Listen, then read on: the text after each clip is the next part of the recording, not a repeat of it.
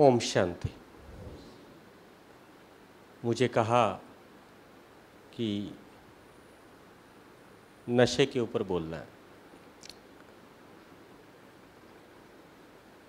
और ज़्यादातर हमारे सामने वो बैठे हैं। सारे ही नशा करने वाले बैठे हुए हैं। सच है ना? सभी नशे करने वाले बैठे हैं। हम सब नशा किए बिना रह नहीं सकते। मैंने पाँच पाँच साल के बच्चे को नशा करते देखा है। जब वो अंगूठा चूस रहा होता है। वो भी एक नशा है। आप उसकी अंगूठा बाहर निकाल दो। थोड़ी देर बाद उसका फिर अंगूठा मुँह में चला जाता है। और उस अंगूठे के चारों तरफ़ देखो, कुछ भी नहीं निकल रहा होता। लेकिन वो उसको चूसते चूसते चूसते उसको मज़ा आ रहा होता है। और कभी आपने पाँच साल के बच्चे को छः साल, सात साल के बच्चे को अंगूठा चूसते देखा हो, वो भी इतना ही मस, मज़ा और इतनी मस्ती ले रहा होता है जिस तरह लोग दूसरा नशे वाले ले रहे होते हैं। उस अंगूठे चूसने वाले को, उस अंगूठा हटाने के लिए उससे ज़्यादा नशा दिया जाता है, ज़्यादा मीठा या कोई चीज़। तो माँ बाप क्या करते हैं उसके लिए? क्या लेकर आते हैं? हैं? शहद का निप्पल ले आते हैं। तो वो उसके मुँह में डाल देते हैं, वो निप्पल चूसता रहता है थोड़ा थोड़ा शहद आता रहता है तो वो धीरे धीरे उसको समझ नहीं आता, ये लूँ या वो लूँ, ये लूँ, और धीरे धीरे वो निप्पल उसको रिप्लेस कर जाता है अंगूठे को। फिर फिर उसकी शहद थोड़ी ख़त्म करते हैं कि वो खाली उसको चूसता रहे। तो धीरे धीरे धीरे धीरे वो वहाँ तक आता है। रिहेबिलिटेशन सेंटर में भी हमने देखा, नशे को नशे से ही काटा जाता है। लोहे को लोहे को, लोहे से ही काटते हैं। लेकिन गर्म लोहे को, ठंडे लोहे से काटते हैं। ठीक है ना? तो जब हम कोई नशा करते, नशा क्या चीज़ है? नशा मतलब डिपेंडेंसी निर्भरता। लत, हम उस, नशा मतलब आदत। आदत। जैसे हम नशा शब्द लेते हैं तो हमारे मन में पिक्चर बन जाती है, शराब पी के नाली में गिरा हुआ है, झूम रहा है, या रोज़ पीने वाला है, या स्मैक किया है, या कुछ ऐसा है। नशा मतलब आदत। चाय के भी नशेड़ी देखे हमने। सुबह से शाम तक चाय पीते रहते हैं। चाय चाय चाय चाय चाय। अब कुछ चीज़ों जो हमारे मन पर असर करती हैं, ब्रेन पर उसमें हम लत के आदती बन जाते जैसे कोई हम दूध पीते हैं। तो आज तक ऐसा नहीं हुआ कि पहले जब हम थे, आज से 20 साल से अगर मैं दूध पी रहा हूँ, रोज़ एक गिलास तो ऐसा नहीं है कि पहले मैं एक कप लेता था तो उसमें मज़ा नहीं आया तो फिर मैंने एक गिलास लेना शुरू करा। फिर मैंने, अब मैं पूरे दो, एक लीटर दूध पी जाता हूँ। फिर अब सुबह से शाम तक दूध ही पीता रहता हूँ। दूध जैसे ही ख़त्म हो तो मेरा हालत ख़राब हो जाती है। तो दूध के साथ ऐसा नहीं है। लेकिन जो और हम मादक, जिसको मादक पदार्थ ही कह दिया, और कोई लेते हैं तो उसके ऊपर डिपेंडेंसी बढ़ जाती है। डिपेंडेंसी बढ़ जाती है। और जब भी लेने वाला होता है, जब भी किसी ने शुरुआत करी इस नशे की, मैं ये चीज़ें थोड़ा सा हटाकर इसलिए बता रहा हूँ कि जब हम स्टूडेंट्स को कराते हैं, बच्चों को तो अलग विधि से कराते हैं फैक्ट्रीज में जाते हैं तो अलग विधि से, यहाँ अवेयरनेस के हिसाब से उस विधि से जानकारी दे रहे हैं। कि जब हम हम में से जैसे कोई जब नशे की ओर बढ़ता, कैसे बढ़ता है तो धीरे धीरे वो उसका आदती कैसे होता है। आज तक जिसने भी नशा करा, जब शुरू किया तो वो चोरी से किया। आप नोट करें, अगर आपके परिवार में या आपके इधर भी किसी ने किया या अब छोड़ा है या अभी छोड़ रहे हैं, पहली बार जब भी किया, दूसरी बार, तीसरी बार तो चोरी से किया। तो ये नशा सबसे पहले क्या सिखाता है? चोरी। किसी ने बीड़ी, सिगरेट कुछ भी पिया हो, पहले चोरी से पिया। खुलेआम नहीं पिया, पहले, सबके सामने। पहले बच, स्कूल में कहीं ना कोई बीड़ी या सिगरेट, शराब कुछ भी लिया, चोरी से लिया, जो मादक पदार्थ है। धीरे धीरे वो चोरी बढ़ते बढ़ते सीना चोरी में बन गई। कि जब उसका विवाह हुआ, बड़ा हो गया, मुखिया बन गया, क्योंकि अब तो चोरी के लिए अथराइज है, जो माँ बाप से छुप कर पीता था बच्चा धीरे धीरे बड़ा होते होते होते होते वो उन्हीं के सामने पीने लग गया। तो अब घर में जब उसके बाद जीवन में आए, जिन, जो उसके रिश्ते में पहले थे, जब नशा उसके जीवन में एंटर करा तो नशा चोरी से एंटर किया। लेकिन जब नशा उसके पास घुस चुका था तब उसके बाद जो उसके जीवन में आए, उसकी वाइफ उसके बच्चे, तब उनके आगे वो सरेआम होना शुरू हो गया। वाइफ के आगे, बच्चों के आगे सरेआम। मुझे भी इस नशे के इतने नुकसान नहीं पता था। जब मैं ब्रह्मा कुमारी में आज से 20 साल पहले आया तो किसी को पीता, देखता था, ये करता, मैंने कहा, होता होगा। लेकिन जब मैंने कुछ ऐसों के संपर्क में आया, जो इस नशे से पीड़ित है दो तरह के लोग नशे से पीड़ित है एक तो जो पी कर रहा है वो, इसमें सबसे ज़्यादा दुखी और सबसे ज़्यादा पीड़ित महिला है। उसका पिता अगर नशा करता है तो उस बेटी का हाल पूछिए। चाहे वो सिगरेट पी कर आए, चाहे शराब पी कर आए, उस मुँह में जो बदबू है दोनों की, उससे वो अपनी बच्ची को जब गोद में उठाता है, उसको गले लगाने लगाता है बच्ची को पिता के रूप में तो उसको वो कैसा लगता है? बदबू। पिता के रूप में, भाई के रूप में, पति के रूप में और बाद में बेटे के रूप में। माँ के जीवन एक महिला के जीवन में पुरुष चार या पाँच रिश्तों के रूप में आता है। पिता, भाई, पति, बेटा।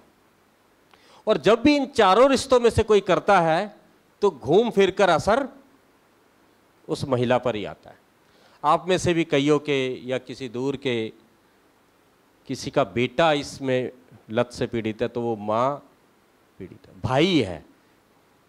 कन्या विवाह के घर आ गई है दूसरे घर आ गई है लेकिन उसे पता है उसका भाई नशा कर रहा है। तो वो यहाँ बैठ बैठ कर उस भाई के कारण दुखी है। मेरा स्कूल जाना हुआ एमसीडी के स्कूल जो छोटे छोटे स्कूल्स हैं प्राइमरीज के आ, तो वहाँ जब ये क्लास हुई तो उसके बाद महिलाएँ इकट्ठी हुई छोटी छोटी बच्चों की, पाँचवीं, तीसरी तो सारे इकट्ठे हो गए, पास में, कि आप हमें अपना नंबर दो। उन्होंने बोला, हमारा पति नशा करता है। बच्चियों ने बोला, हमारा पिता नशा करता है, मारता है, सारा दिन गली के बाहर पड़ा रहता है पी के। और जब भी हम ये नशा करते हैं, हम इसको जस्टिफाई करते हैं। ये बिल्कुल ऐसे दलदल की तरह है, जब कोई व्यक्ति आता है और दलदल में शुरू करता है पैर डालकर और सबको दिखाता है पैर डाला और ये निकल आया। फिर दूसरा पैर डाला, फिर निकल आया।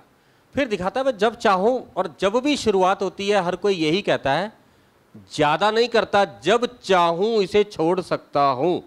ये पहली गलत फहमी व्यक्ति को हो जाती है कि जब चाहूँ उसे छोड़ सकता हूँ। मैंने डिस्कवरी में या और जंगल में जाके अगर देखो तो जो शेर आता है, जब घात लगा के बैठता है तो जब तक उसका शिकार उसके आसपास घूम रहा होता है, जब तक वो उसकी गिरफ्त में नहीं आता, शेर और वो सब ऐसे बैठे होते हैं जैसे पत्थर की मूर्ति, है ही नहीं। और जैसे ही उसकी गिरफ्त उसके उस रेंज में आते हैं, वो एकदम ऐसा झपट्टा मारते हैं, उसे, वो उस, उसका उससे निकलना मुश्किल हो जाता है। ऐसे ही जब उसे पता लगता है, जब तक कि वो इसकी गिरफ्त में आ चुका है, तब तक बहुत ज़्यादा देर हो चुकी है। और दलदल की एक विशेषता है जब दलदल में कोई व्यक्ति धसता है तो अब धसने के बाद वो जितनी ज़्यादा उस पर निकलने का मेहनत करता है, उसका अपना ही वज़न उसे दलदल में और धसाता चला जाता है, और धसाता चला जाता है। तो वो उसकी मेहनत उसे नीचे नीचे नीचे नीचे ले आती है। नशे के दुष्प्रभाव तो आप गूगल पे भी जाके देख सकते हैं। हमारे पास लोग आते हैं जो नशा करते थे और जिन्हें कैंसर हुआ। गुटखा खाते हैं, जीवन पार्क में कोई भाई आया, गुटखा खाता था। एक दिन में तीस तीस चालीस चालीस गुटके खाता था। उसका यहाँ से काटा गया इतना, और यहाँ से पूरा इतना हिस्सा निकाल दिया गया।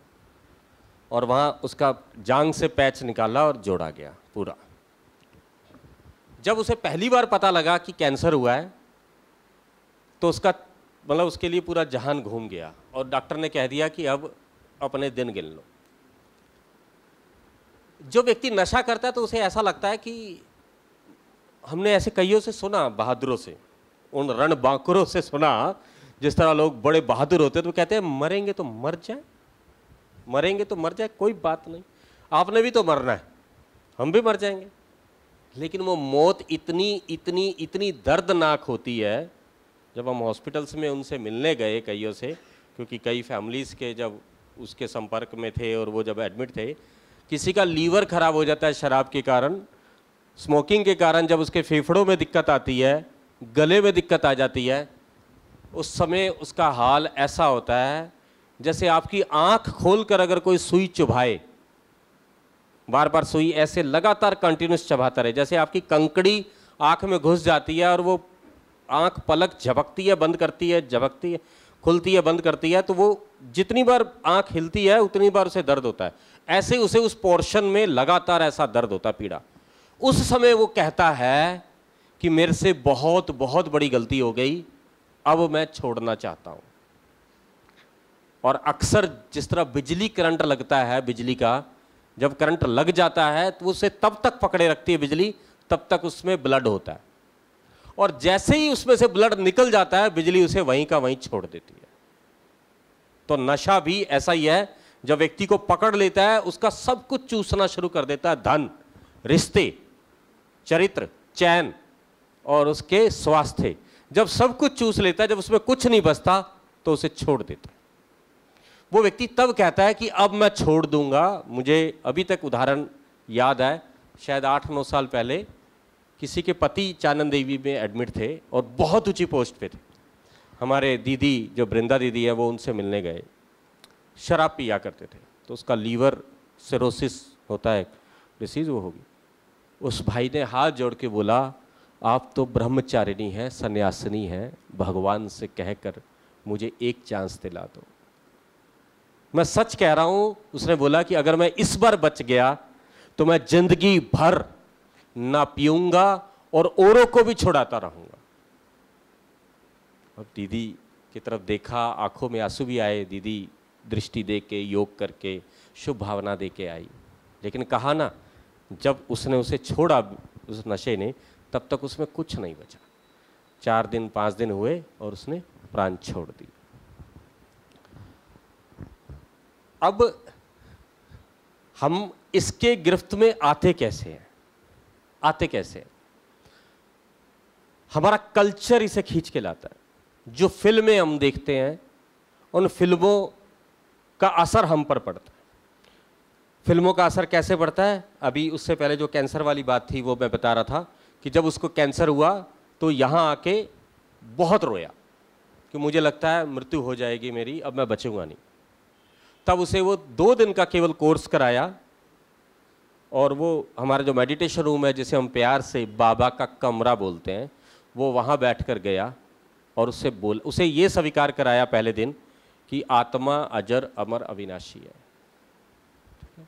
आप इससे अलग हो जाएँ, शरीर से अलग होना सीखें। जब उसने मेडिटेशन किया पाँच दस मिनट का तो वो बिल्कुल शरीर से अलग होने का जो उसे भान हुआ तो उसे इतनी वो पावर मिली। वो हॉस्पिटल में गया डॉक्टर को जाके बोला no I am ready for operation और उसने आके अपना अनुभव सुनाया दो दिन बाद कि उस जो कैंसर इंस्टीट्यूट है राज़ी, इधर, शायद रोहिणी में है तो वहाँ उन्होंने बोला कि वहाँ जितने और कैंसर जिनको डायग्नोज हो रहा था, वो रो रहे थे फैमिली वाले तो मैं उनको भी जाके सांत्वना दे रहा था कि हो गया, गलतियाँ थी हमारी, लेकिन अब इसको स्वीकार करो और ऑपरेशन के लिए या जिस चीज़ के लिए तैयार हो। तो फ़िल्में हमारे यहाँ एंटर कैसे करती हैं? हमारा कल्चर हमारा धर्म कैसे एंटर करता है और किस तरीके से हम उसमें ट्रैप में आते हैं। फ़िल्मों में आपने देखा होगा कि जब एड आती है और उस एड से हम कैसे प्रभावित होते हैं। आपने जब फ़िल्में देखी होगी, एक व्यक्ति, एक बहुत नामी हीरो है, वो सिगरेट निकालता है और ऐसे करता है, फिर बंदूक निकाल के ऐसे करता है, फिर उसके मुँह में आती है, फिर वो ऐसे करता है। तो उसका नाम याद है? कौन है? हैं? हैं? रजनीकांत। देखो, आपके दिमाग में बैठा हुआ है कि रजनीकांत हीरो है, ऐसे करता है सिगरेट हैं। वो भी फ़िल्में 20-25 साल पुरानी है, अभी तक बुद्धि में बिठा दिया है कि हीरो सिगरेट ऐसे पीता है। कुली में अमिताभ बच्चन बीड़ी पीता है। सिगरेट नहीं पीता, बीड़ी पीता एड आती है दाने दाने में, दाने दाने में, है? केसर का दम, है? अब मैं जब पहली बार सुना तो पता लगा केसर आपको पता है कितने रुपए किलो है? कितने? है ना? तीन हज़ार रुपए किलो है। पाँच रुपए की पुड़िया में वो दाने दाने में केसर डाल के आपको बेच रहे हैं और आप स्टाइल से खींच रहे हैं। और वो कमला पसंद, पान पसंद, वो जब खाते हैं ऐड में और वो बड़े से काम करते हैं, उनका लोगों को बड़ा ऊँचा करेक्टर दिखाते हो, खाते हुए तो हमारे यहाँ अंदर भर दिया गया है। दाने दाने में केसर का तो नहीं, कैंसर का दम है। दाने दाने में किसका दम है? कैंसर का दम है। तो हमारे दिमाग में भर दिया गया है। क्रिकेट का मैच चल रहा है, शाहरुख खान बड़ा टेंस होके ऐसे सिगरेट पी रहा है ऐसे करके, और ऐसे वो छल्ला सा बना रहा है, और उसके ऊपर वो दिखाया जाता है। एड में मना है, सिगरेट, लेकिन उसको वो उसी समय दिखाया जाता है तो युवा पीढ़ी के मन में बैठ जाता है देखो हीरो सिगरेट पीता है। वो दिखाया नहीं गया ऐसे ही नहीं दिखाया गया जान के दिखाया गया उस एक सीन के लिए एक करोड़ रुपया लिया उसने हीरो ने। मतलब ऐसे ही दिखाया जाएगा। कुली में बीड़ी इसलिए दिखाई कि जो गरीब तबका है वो बीड़ी पीता है तो उसको बीड़ी दिखा दिया गया कि हाँ जनमानस बीड़ी पीता है। और मैं अभी पिछले आ, ये दो तीन साल से देखा हमने अपने देवताओं में भी वो चीज़ डालनी शुरू कर दी। आज से 20-25 साल पहले की फ़ोटो देखो जो शंकर के रूप में दिखाते हैं, स्माइलिंग फेस, तपस्वी वेश और ऐसे बैठा हुआ है। तपस्या में मग्न। अब कांवड़ का आसपास जमाना चलता है तो उसको दाढ़ी दिखा के बिखरे हुए बाल और चिलम लेके उसे पीता हुआ दिखाया गया और कारों के पीछे उसके वो स्टिकर दिखाए गए हैं। कि उसका वो रूप दिखाया गया कि हाँ, ये भी पीता है तो हम भी पी सकते हैं। गाने भी ऐसे बनाए गए।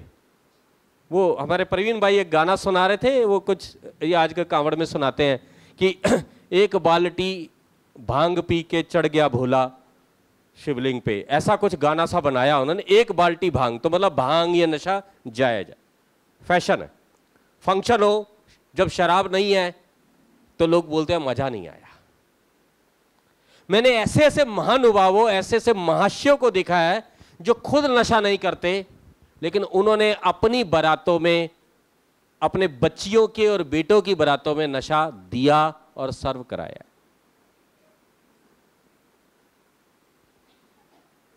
कहा, जहाँ पहले शादियों में मंगल गान होते थे, आजकल डीजे में उल्टे सीधे गाने बजते हैं। तो शादियाँ भी मंगलमय कहाँ रही, चलती भी दो तीन साल तक ही है। वैसा ही होता गया ना? कहाँ होता है? तो उस चीज़ उस कल्चर को बिठा दिया गया, धीरे धीरे धीरे। फिर अब ये माफिया धीरे धीरे पहले इसमें घुसा। बड़ा उसमें बड़े प्यार से बताते हैं, जिस कंपनी के 50 परसेंट, पचास प्रतिशत उसके ग्राहक हर पाँच साल में, छह साल में मर जाए तो वो क्या करे? उस उस कंपनी का क्या होगा?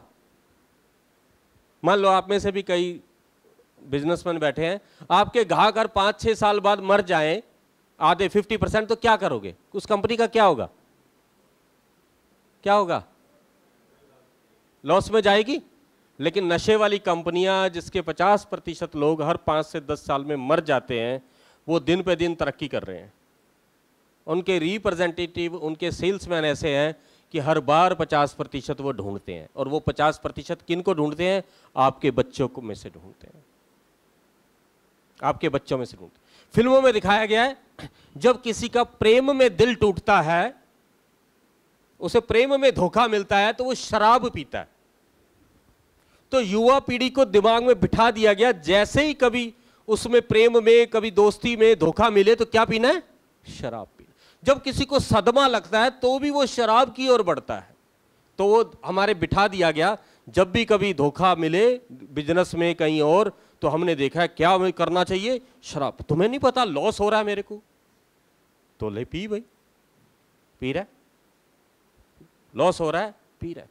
और दिखाया जब बहुत फ़िल्मों में देखो, क्या दिखाते हैं? जब व्यक्ति को कुछ नहीं सूझ रहा डिटेक्टिव दिखाते हैं। वो दो सिगरेट पीता है और उसको एकदम आइडिया आता है, क्या आइडिया था? और उसी समय वो काम कर देता है। तो दिमाग में बिठा दिया, सिगरेट पीने से दिमाग की बत्ती चल जाती है। पीना चाहिए ऐसे। ये पीना चाहिए पीना चाहिए पीना चाहिए।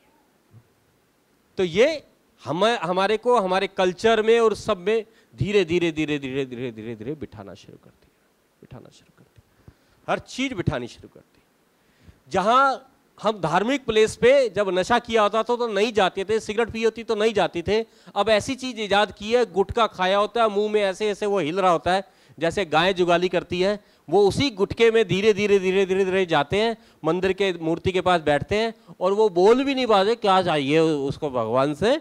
और वो ऐसे ऐसे करके बैठ के धीरे धीरे वापस आके और चले जाते हैं।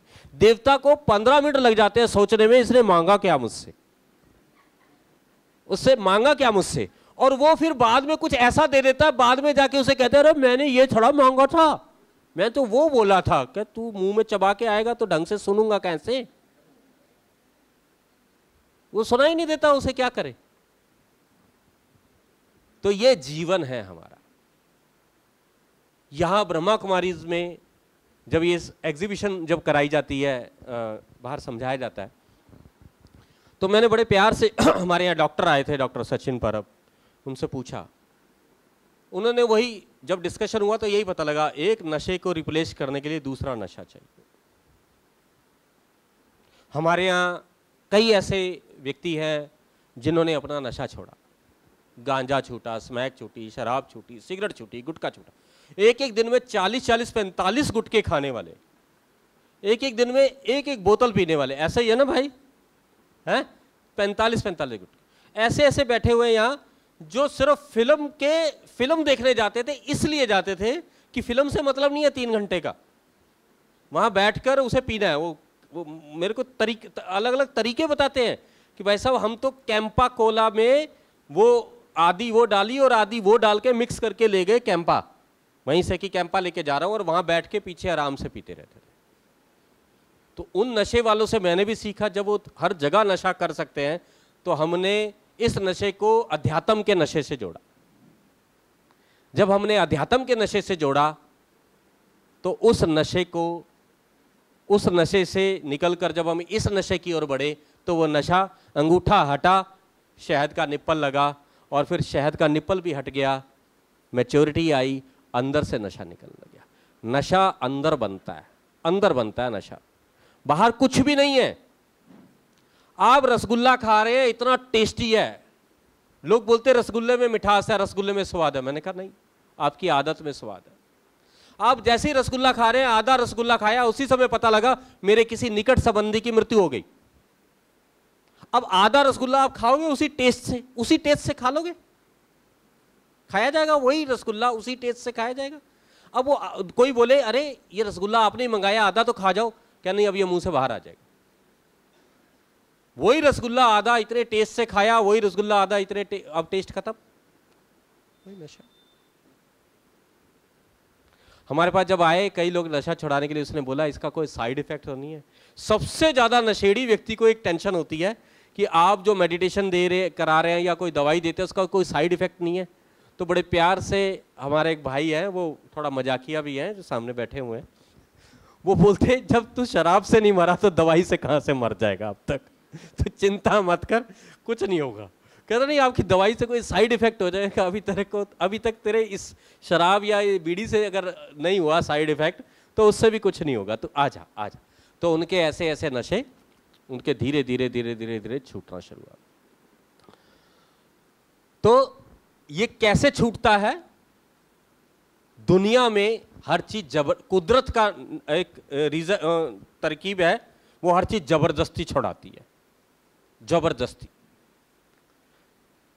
आपको जिस, जो चीज़ पसंद है, कुदरत वही चीज़ सबसे पहले दूर करती है। आप नोट करें, जिसको बहुत मीठा पसंद है, बहुत मीठा पसंद है, या कोई ऐसी चीज़ पसंद है तो या तो मीठा शुगर के रूप में पसंद, दूर हो जाएगा, या दांत गायब हो जाएँगे। तो पड़ा होगा, खा नहीं सकते। रिश्ते दूर हो जाएँगे, ऐसे ऐसे। कुदरत ज़बरदस्ती वो चीज़ ही उठाकर निकाल के ले जाती है। फोर्स लगाती है। ऐसे ही साइंस भी उसे फोर्स से ही निकालती है, उसे रिहेबिलिटेशन सेंटर में डाला जाता है, जिसको नशा छोड़ना हो। तीन महीने उसको नशे, उस उस जगह एक जेल होती है वो, और कुछ नहीं है। वहाँ उसको नशा नहीं मिलता। पहले दो तीन दिन बहुत तड़पता है, चार दिन तड़पता है इधर उधर टकरे मारता है तो वहाँ उनसे लड़ता भी है, लेकिन वो कम, दरवाज़ा बंद, और उसे थोड़ा थोड़ा नशा दिया जाता है थोड़ा सा वही हल्का सा और वो उसको धीरे धीरे धीरे, उसे विड्रॉल सिम्टम बोलते हैं, जब जैसे जैसे वो नीचे उसको छोड़ने लगता है, धीरे धीरे छोड़ता छोड़ता बाहर आता है तो तीन महीने में वो नॉर्मल हो जाता है। लेकिन 90 परसेंट केसेस में देखा, जब वो अंदर था तो तो छूट गया मजबूरी में। जब वो बाहर आया 90 परसेंट लोगों ने दोबारा से नशा शुरू करना शुरू कर दिया। लेकिन जब इन नशा करने वालों पे जो गुटखा खाते हैं, बीड़ी पीते हैं, तंबाकू खाते हैं, शराब पीते हैं किसी भी रूप में तंबाकू का सेवन या शराब का सेवन, वो जब करते हैं, उन पर राजयोग का अभ्यास कराया गया। उनको डेली ब्रह्मा कुमारी में नियर बाई सेंटर पे जाके उन्होंने सेशन लिए आध्यात्मिकता वाले। ईश्वरीय ज्ञान और राजयोग का नियमित अभ्यास किया। तीन महीने में देखा 1500 लोगों पर सर्वे उस पर रिसर्च में उन्हें लिया गया। छूटे तो डेढ़ लाख से भी ज़्यादा लोगों के नशे। 1500 लोगों पर स्पेशल उन पर रिसर्च की गई, जिनमें से 80 63 परसेंट लोगों ने एक महीने में ही नशा छोड़ दिया था। 83 परसेंट तीन महीने से चार महीने तक छोड़ पाए और केवल सात परसेंट है जिन्हें छोड़ने में आठ या नौ महीने लगे और आठ या नौ महीने लगे और उसमें तीन या चार परसेंट जो और बचे या दो परसेंट जो इसमें अभी इस कैलकुलेशन बचे वो नहीं छोड़ पाए यानी वो आना ही छोड़ दिया। उन्होंने यहाँ आना छोड़ दिया तो उनकी चॉइस थी कि ये लेना या ले ये लेना तो उसे छोड़ नहीं पाए चले जाए मीन 83 परसेंट लोग तीन से छः महीने में इस नशे से निकल सकते हैं। इस नशे से निकला राजयोग का नियमित अभ्यास किया। जब हम मेडिटेशन करते हैं तो मेडिटेशन से यहाँ हैप्पी हार्मोन बनते हैं। आ, आपकी भाषा में उसे हैप्पी हार्मोन बोलेंगे। वो हार्मोन बनते हैं। जिस तरह चाय में निकोटिन होता है, तबाकू में निकोटिन होता है, जब हम यहाँ जब हम मेडिटेशन करते हैं तो हमें जो सुख मिलता है, यहाँ जो मेडिटेशन करते हैं, उन बहनों को भी अनुभव हो, भाइयों को भी अनुभव जो मेडिटेशन करते हैं तो वो ऐसा ही फील करते हैं कि I am feeling I am peaceful I am loveful जैसे वो महसूस करें तो उन्हें ऐसा लगता है, यहाँ से हैप्पी हार्मोन निकल के उसे रिलैक्सेशन मिल रहा है। और जब व्यक्ति कोई नशा करता है तो उसको भी उस समय ऐसा ही फील होता है। चाहे वो गुटखा खाता है, चाहे खैनी खाता है चाहे कुछ भी खाता है तो उसको उस पर्टिकुलर समय के लिए ऐसा होता है। लेकिन वो बार बार बार बार करते करते ब्रेन उसका हैप्चुअल बन जाता है और धीरे धीरे ब्रेन सुन्न होने लग जाता है। उसकी मेमोरी लॉस होने लग जाती है। और यहाँ आने के बाद जब हम मेडिटेशन करते हैं तो उस मेडिटेशन से मेमोरी और इमोशंस स्ट्रोंग होने लग जाते हैं। परिवार जो टूट रहे थे, वो जुड़ने लग जाते हैं। ऐसे कई फैमिलीज़ हैं, जिन्होंने कहा कि हमारा परिवार टूटने के कगार पर था, डूबने के कगार पे था। जब हम इस संस्था में, किसी भी रूप में जुड़े और हमारे परिवारों में ये नशा धीरे धीरे विदाई ले गया। भगवान का साथ हमें हर मुसीबत से निकाल देता है। हर आदत से निकाल देता है। हर दलदल से निकाल लेता है। तो इसके लिए हम आपको निमंत्रण देते हैं, यदि आपके नियर बाई नज़दीकी रिश्तेदारों में कोई ऐसा हो लेकिन हमारे यहाँ आने का एक ही वो है, वो व्यक्ति खुद छोड़ना चाहता हो। अगर खुद नहीं छोड़ना चाहता तो फिर कुदरत छुड़वाती है। कोई एक ऑर्गन कोई एक अंग उससे ले लेती है दान में और फिर रहता ही नहीं है। हमारे जानकारी में कई ऐसे हैं, जिनका लीवर खराब हुआ तो उसकी वाइफ ने आधा लीवर अपना दिया। लीवर डोनेट करते हैं। उसने आधा लीवर अपना दिया तो वो आधा लीवर लगा उसे। वो तीन साल आराम से चला, तीन साल बाद फिर पीना शुरू हो गया। तीन साल बाद फिर पीना शुरू। आदत नहीं बदली, चीज़ें बदली। अब ऐसा ही एक की पेनक्रियाज निकल गई। पेनक्रियाज ही नहीं है उसकी, शराब पी पी के। पेनक्रियाज निकाल दी गई। अब वो इतनी दवाइयाँ खाते हैं जितना हम भर के कटोरी में दाल तीन टाइम खाते हैं ना, इतनी दवाइयाँ भर के वो खाते और उसके आधार पर चलता चलो, स्वास्थ्य तो अलग बात है। जिस घर में शराब पी जाती है, जिस घर में नशा किया जाता है, उसी घर में आप देवी देवताओं की फोटोएँ लगाते हैं, हाथ लगा, धोने के बाद उनको टच करते हैं, अगरबत्ती जलाते हैं। जिस घर में अगरबत्ती देवता को जलाई जा रही है, वहाँ देवता को अगरबत्ती दिखाने के बाद पंद्रह मिनट बाद आप बीड़ी का धुआँ दे रहे हैं तो बरकत कहाँ से आएगी ऐसे मैंने परिवार देखे हैं, जहाँ कमाई तो बहुत है, लेकिन बरकत नहीं है, शांति नहीं है, चैन नहीं है, सुख नहीं। तो शांति, चैन, सुख आपके द्वार पर खड़ा आपको निमंत्रण दे रहा है कि आइए, भाग्य बनाइए और औरों को भी बचाइए। आखिरी के दो पॉइंट में बताऊँगा। हम में से कई ये सोच कर बैठे हैं कि हम कभी कभार पीते हैं, ज़्यादा नहीं पीते। जिस तरह दरवाज़ा अगर बंद कर दिया जाए और कुंडा लगा दिया जाए, आप अंदर बैठे हैं और आपके चार दुश्मन हैं और चार दुश्मन बाहर से धक्का दे रहे हैं तो वो दरवाजे को धक्का दे रहे हैं, आप आराम से बैठे हैं। वो दरवाजे से भिड़ रहे हैं। जब दरवाज़ा तोड़ेंगे, तब आपके पास आएँगे। ये है बिल्कुल ना पीना, कोई भी नशा ना करना। और जो जो कहता है, बहुत कम लेता हूँ, कभी कभार लेता हूँ, उसने दरवाजे का कुंडा खोल दिया, लेकिन दरवाज़ा बंद है।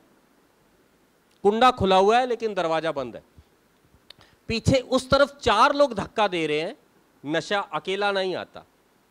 कोई भी नशा साथ में गुस्सा लाता है, फ्रस्ट्रेशन लाता है। नशेड़ी लोगों को किसी भी चीज़ की नशे की आदत हो, भगवान के नशे के अलावा गुस्सा बहुत आता है, चिड़चिड़ापन आता है।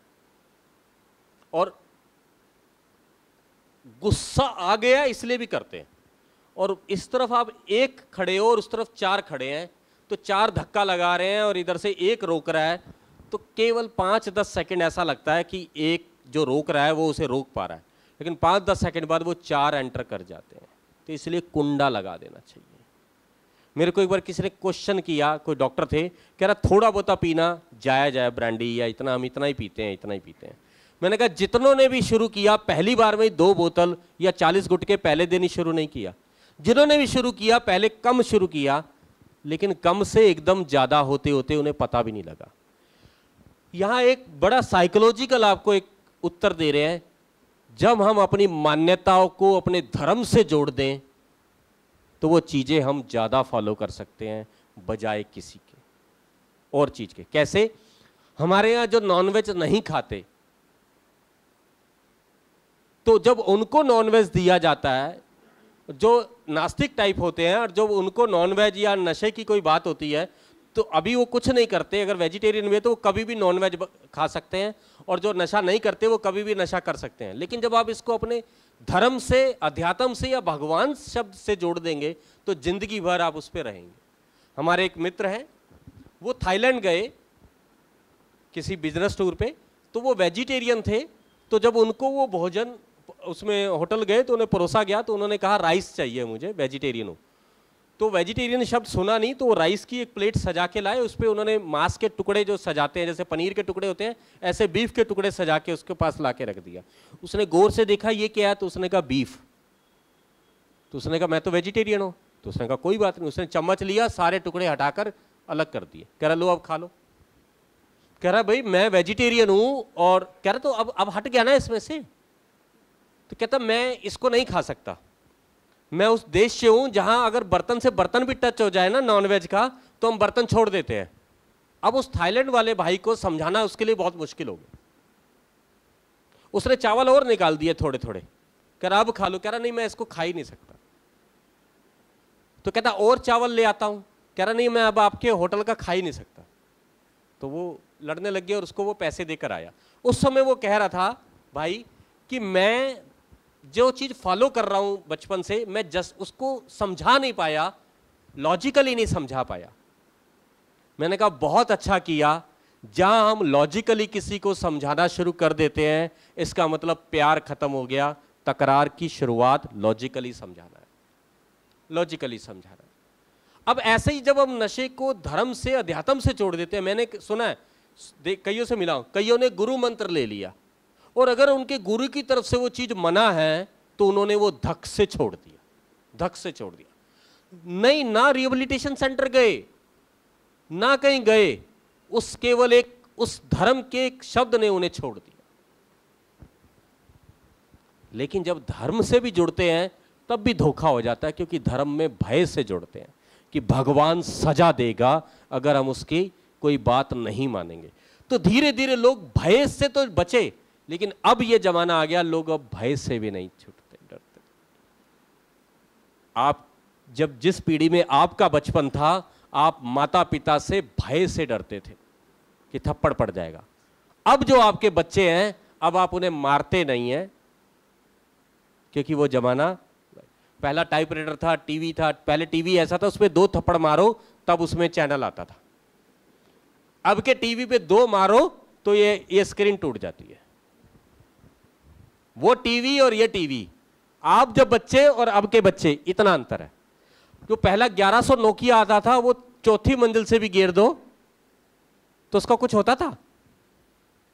अब का इस हाथ से भी निकल जाता है तो टूट जाता है।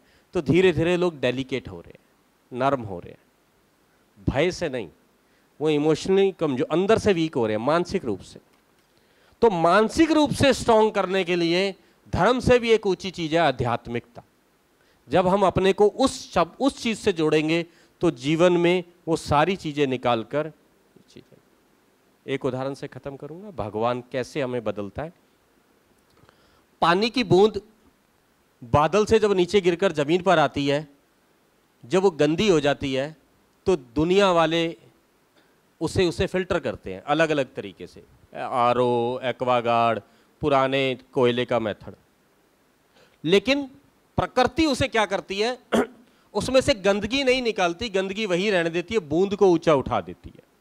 सूर्य आता है सूर्य आकर उस बूंद को उसमें से एवोपरेट कर देता है भाप बना देता है। जब वो नीचे गिर रही है तो, तो दुनिया देख रही है गिरते हुए कीचड़ में जाते हुए गटर में घुसते हुए सब दिख रहा है। लेकिन जब वो ऊपर उठती है तो उसे कोई नहीं देख पाता कोई भी नहीं देख पाता। दिखती नहीं है, वो भाप बनकर ऊपर गई और पुनः शुद्ध हो गई। तो ये शुद्धि का तरीका भगवान अपनाता है। हम में से गंदगी नहीं निकालता। गंदगी वहीं